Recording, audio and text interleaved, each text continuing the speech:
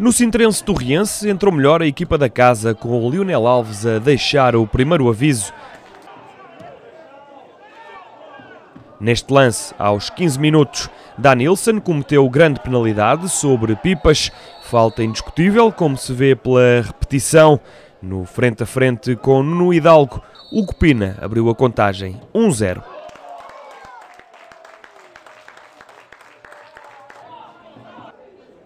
Ainda na primeira parte, grande pontapé de Lionel Alves a acertar com estrondo na trave. Aqui já no segundo tempo, Machau antecipou-se bem, mas Rodolfo impediu que a bola chegasse a Bonifácio. Do outro lado foi Hidalgo a negar o golo ao nigeriano Boniface. Em cima da hora de jogo, o Sintrense dispôs de nova grande penalidade. O assistente considerou mão de Danilson e o árbitro marcou falta. Desta vez, Hidalgo adivinhou o lado e defendeu o remate de Osório.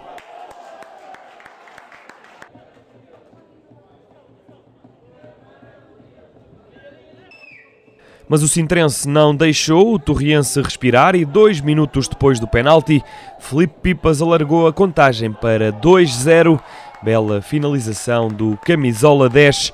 A formação de Torres Vedras teve de arriscar mais e chegou mesmo ao 2 a 1 aos 74 minutos. Danilson desviou de cabeça após lançamento largo de Esgaio. A bola ainda ressaltou em Boniface. Ao minuto 84, o momento alto do jogo, Lionel Alves recuperou a bola, fintou dois adversários e desmarcou Boniface fez uma correria tremenda para ir finalizar com sucesso. Jogada brilhante do internacional guineense que se estreou a marcar nesta temporada. Hidalgo ainda tocou na bola, mas o esférico só parou no fundo da baliza. 3-1.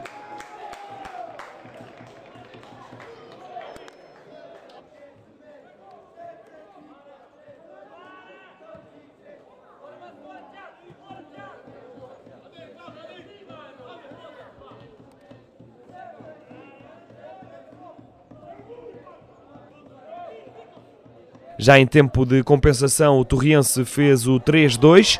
Tomás Silva encostou de cabeça.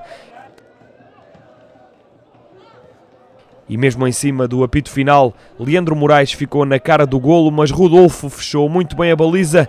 Resultado final de 3-2 para o Sintrense.